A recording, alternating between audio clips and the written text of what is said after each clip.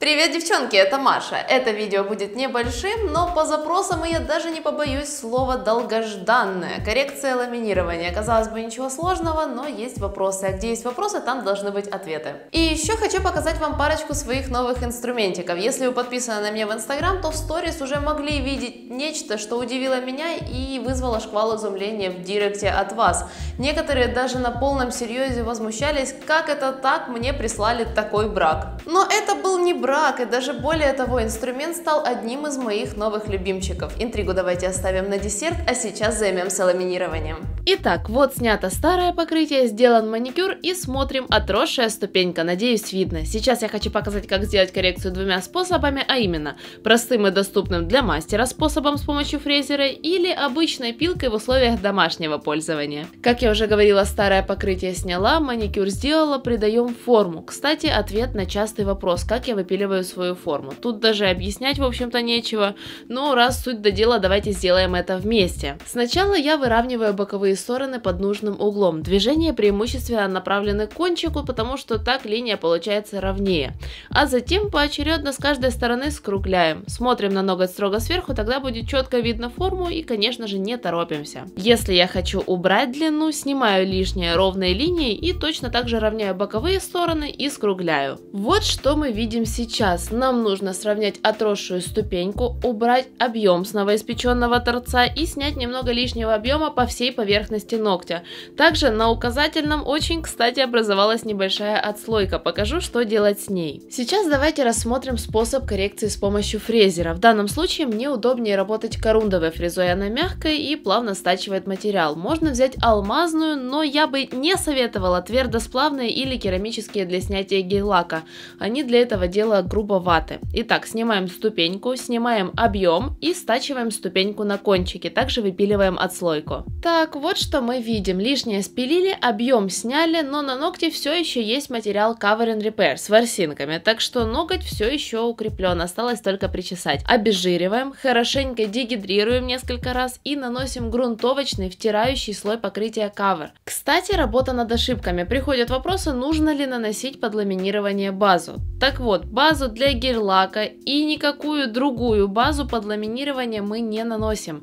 Ламинирование это отдельный продукт, щит между ногтем и гель-лаком. Хронология такая, ноготь, ламинирование, гель-лак. Если что, ссылка на очень подробную технологию ламинирования ногтей есть в описании. Итак, мы очень тоненько нанесли грунтовочный слой покрытием кавер, запечатали торец и сушим. Чтобы кончик был покрепче, я заполняю выпиленную отслойку капелькой Cover and Repair с ворсинками. Это не обязательно, можно взять просто просто cover, но с Cover and Repair будет крепче. Наносим материал таким слоем, чтобы ничего не нужно было опиливать, то есть заполняем выпиленную отслойку в общий уровень. Сушим. А сейчас выравниваем все, что у нас есть, слоем покрытия Cover. Наносим тонким слоем на весь ноготь и добавляем материала побольше там, где нужно. Можно это делать двумя более тонкими слоями. Перед сушкой всегда переворачиваем ноготь. С этим ногтем разобрались. Теперь давайте на втором ногте покажу, как делать коррекцию с помощью пилки. Мягкой Тонкой пилочкой 240 грит стачиваем отросшую ступеньку, направляя полукруглые движения от центра к боковым валикам. Такими же движениями снимаем объем со всей ногтевой пластины из боковых сторон ногтя, чтобы ноготь не был пузатым. И движениями на себя снимаем толщину с торца.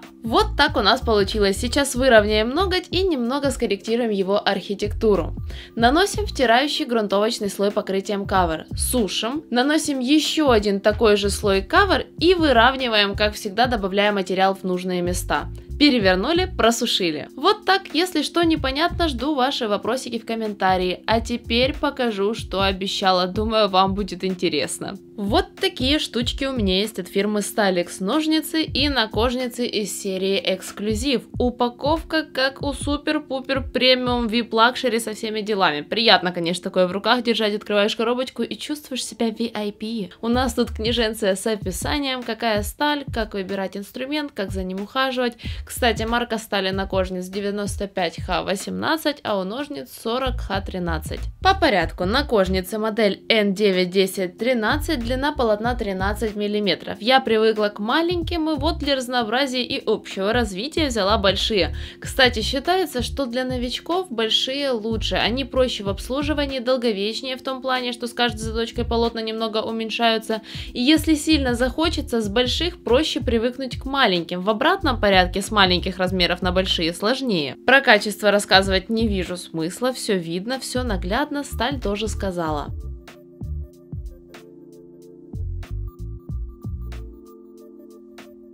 А теперь кто-то такое уже видел, кто-то будет в культурном шоке, но не спешите с выводами. Я тоже сначала долго удивлялась, но ножницы завоевали мою любовь. Модель S9 1121. Короче, в буклете согнутый кончик объяснили тем, что угол изгиба повторяет форму кутикулы, улучшает обзор и, как следствие, позволяет работать в труднодоступных местах. Что я могу сказать? Во-первых, сами просятся в руку правильно. Я, когда делаю маникюр сама себе, держу не так, как все учат, а так, как мне удобно но с таким кончиком реально удобно держать ножницы правильно.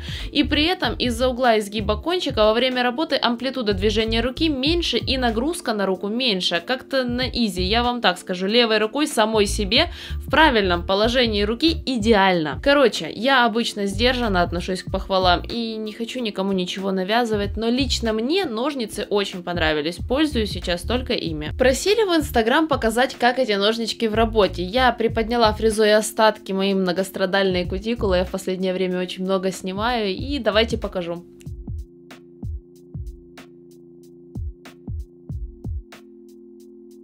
Чик-чик-чик и все. Единственное, у меня были сомнения по поводу заточки. Как мастеру объяснить, что к чему, и вдруг он что не так сделает, например, выровняет ножницы, куда нести точить. Ну, в общем, мне в Сталикс рассказали, что у них есть своя заточка, можно организовать доставку инструментов по почте, и мастер, который в курсе, заточит так, как надо. Я еще не точила, но обязательно попробую. Надеюсь, вам было интересно и видео понравилось. Ставьте лайк, если это так. Вопросы, которые вас интересуют, пишите в комментарии под видео не забывайте подписываться на мой канал, если еще не подписаны, и также присоединяйтесь ко мне в других соцсетях, ссылочки оставлю в инфобоксе. А с вами была я, Маша, до скорого!